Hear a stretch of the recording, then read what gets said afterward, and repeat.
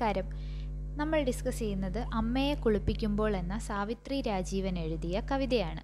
ആയിരത്തി തൊള്ളായിരത്തി അൻപത്തി ആറ് ഓഗസ്റ്റ് ഇരുപത്തിരണ്ടിന് ഏറനാട്ട് താലൂക്കിൽ വീട്ടിക്കാട്ട് ഇല്ലത്ത് നാരായണൻ നമ്പൂതിരിയുടെയും സാവിത്രി അന്തർജനത്തിന്റെയും മകളായി ജനനം. Malappuram government college Thiruvananthapuram women's college M M S university Baroda എന്നിവിടങ്ങളിലായിരുന്നു വിദ്യാഭ്യാസം. വിവിധ ഇന്ത്യൻ ഭാഷകളിലും ഇംഗ്ലീഷ് സ്വീഡിഷ് തുടങ്ങിയ വിദേശ ഭാഷകളിലും കവിതകൾ പരിഭാഷപ്പെടുത്തിയിട്ടുണ്ട്. ചരിവ് ദേഹാന്തരം ഹിമസമാധി അമ്മയെ കുളിപ്പിക്കുമ്പോൾ സാവിത്രി രാജീവന്റെ കവിതകൾ എന്നീ സമാഹാരങ്ങൾ പ്രസിദ്ധപ്പെടുത്തി. കവിതയ്ക്കുള്ള കേരള സാഹിത്യ അക്കാദമി പുരസ്കാരം Kunchupillai Smaraka award Kamala Surayya award Udayabharati national award എന്നിവ നേടിയിട്ടുണ്ട്. നമുക്ക് പാഠഭാഗത്തിലേക്ക് കടക്കാം. ഒരു കുഞ്ഞിനെ കുളിപ്പിക്കുമ്പോൾ എത്രമാത്രം കരുതൽ ആവശ്യമുണ്ടോ അത്രയും കരുതൽ വേണം അമ്മയെ കുളിപ്പിക്കുമ്പോൾ. കാരണം ഉടൽ കയ്യിൽ നിന്നും വഴുതിപ്പോകാതെ നോക്കണം. ഇവിടെ വാർദ്ധക്യത്തിലെത്തിയ ഒരു അമ്മയെ കുളിപ്പിക്കുമ്പോൾ ഉള്ള കാര്യങ്ങളെക്കുറിച്ചാണ് കവിതയിൽ പരാമർശിക്കുന്നത്. വാർദ്ധക്യത്തിലെത്തിയത് കാരണം ഉടൽ കയ്യിൽ നിന്നും വഴുതി പോവാതെ നോക്കണം. കുളിപ്പിക്കാനുള്ള വെള്ളത്തിന് ഇളം ചൂടുണ്ടായിരിക്കണം. വാർദ്ധക്യത്തിലെത്തിയിരിക്കുന്ന അമ്മയുടെ ഉടൽ ഒരു കുഞ്ഞിന്റേതുപോലെ നേർത്തതാണ്. കാലം നേർപ്പിച്ച ആ ഉടൽ ചൂടോ തണുപ്പോ താങ്ങുകയില്ല. അതുകൊണ്ട് ഇളം ചൂട് മാത്രമേ പറ്റൂ. അമ്മയുടെ ഉടലിൽ സോപ്പുലായനി പതപ്പിക്കരുത്. അത് താങ്ങാനുള്ള ശേഷി ആ ശരീരത്തിനില്ല.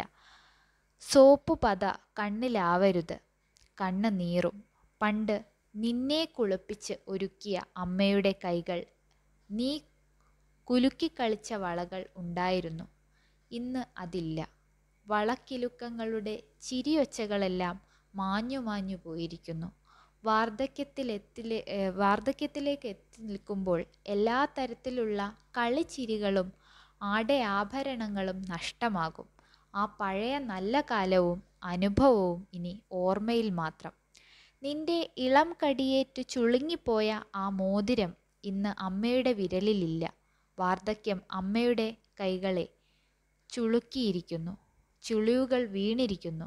അതിനാ അതിനാൽ മോതിരം എപ്പോഴോ ഊർന്നു വീണു പോയിരിക്കാം. ഇപ്പോൾ അമ്മയുടെ ശരീരത്തിൽ ഉള്ളത് കാലം വരുത്തിയ ചുളിവുകളുടെ എണ്ണമയമില്ലാത്ത ഞൊറിവളകളാണ്. അവ മാത്രമാണ് ഇന്ന് അവശേഷിക്കുന്നത്. അവ അമ്മയുടെ ഓർമ്മകളുടെ തിളക്കമുള്ളവയാണ്. ജീവിതത്തിന്റെ അറിവുകളും അനുഭവങ്ങളും കൊണ്ട് നിറഭേദങ്ങൾ വന്നിട്ടുള്ള അവയിലെ നിറങ്ങളെ നമുക്ക് എണ്ണാനാവില്ല.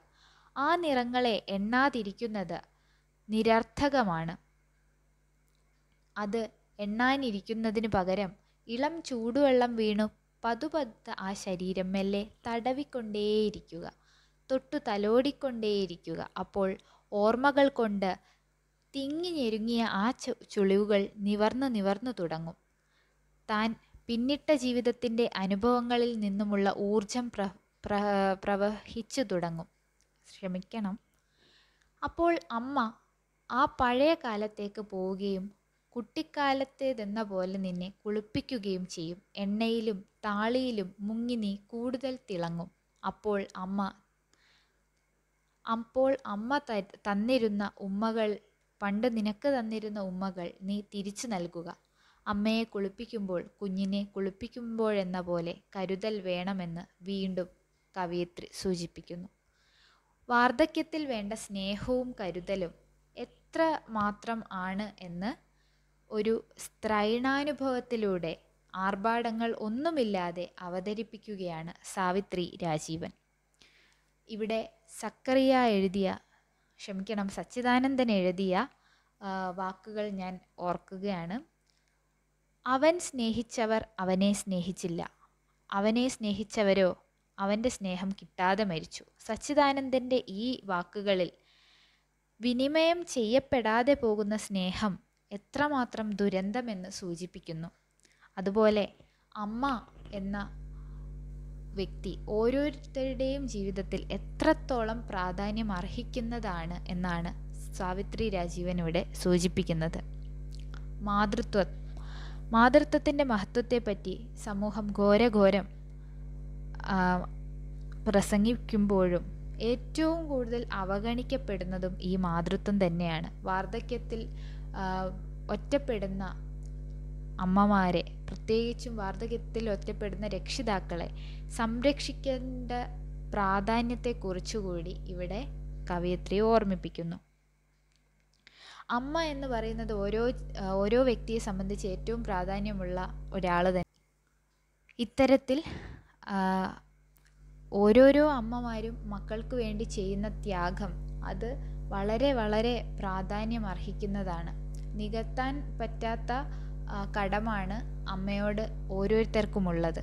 ഇത്തരത്തിൽ അമ്മയോടുള്ള ആ കരുതൽ നാം ഏറ്റവും കൂടുതൽ പ്രകടിപ്പിക്കേണ്ടത് അവരുടെ വാർദ്ധക്യ കാലത്താണ് എന്നുള്ള ഒരു ഓർമ്മപ്പെടുത്തലാണ് സാവിത്രി രാജീവന്റെ ഈ കവിത. വാർദ്ധക്യത്തിൽ എത്തുമ്പോൾ നാം ചെറിയ കുട്ടികളെ പരിചരിക്കുന്ന കരുതലോടെ വേണം വാർദ്ധക്യത്തിലെത്തിയ ഓരോരുത്തരെയും നാം പരിചരിക്കാൻ എന്നുകൂടി ഇവിടെ ഓർമ്മപ്പെടുത്തുന്നു. വാർദ്ധക്യത്തിലെത്തിയ അമ്മ ഒരു കുഞ്ചു ഒരു കുഞ്ഞു പിഞ്ചു കുഞ്ഞിന്റേതെന്ന പോലെ അമ്മയെ നാം സംരക്ഷിക്കേണ്ടതിന്റെയും സ്നേഹിക്കേണ്ടതിന്റെയും ആവശ്യകത ഇവിടെ കവയിത്രി സൂചിപ്പിക്കുന്നു.